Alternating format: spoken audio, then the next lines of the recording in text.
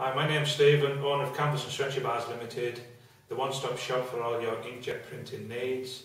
Today I'm going to show you how to laminate a canvas print. Right, the following is a list of items you would need to laminate an inkjet canvas. First of all, your printed inkjet canvas, your image, either a foam brush or a mohair roller, a roller tray, finally the lamination. The first stage is to prepare your varnish, give it a good shake half an hour prior to using it and only tip in enough of the lamination to do the job, to do the canvases that you're, you're doing. Don't, um, don't any, any varnish that you have at the end of it, don't pour it back into the bottle as you'll contaminate the bottle and don't store it in a shed or a garage where it's likely to freeze. Now I'm going to show you how to varnish the canvas using both methods.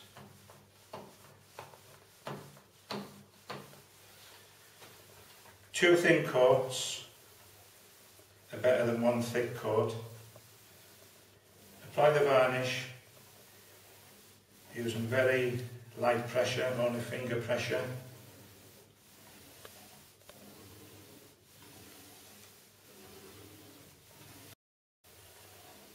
Just very lightly, finger pressure, so you don't leave any marks.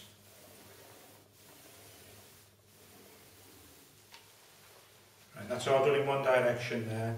If you leave it for five or ten minutes and go over it in the opposite direction and then leave it to dry, and you'll be ready to stretch your canvas.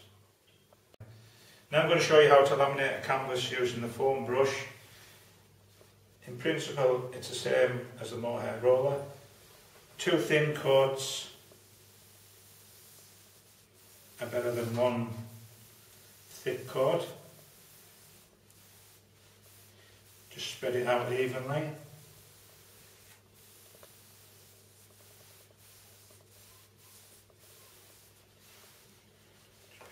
More.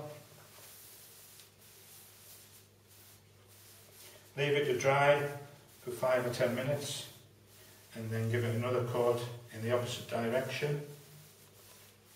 Here we have the finished um, laminated canvas, a nice even finish, um, no streaks or anything, um, fully protected and scratch resistant and uh, ready to be stretched.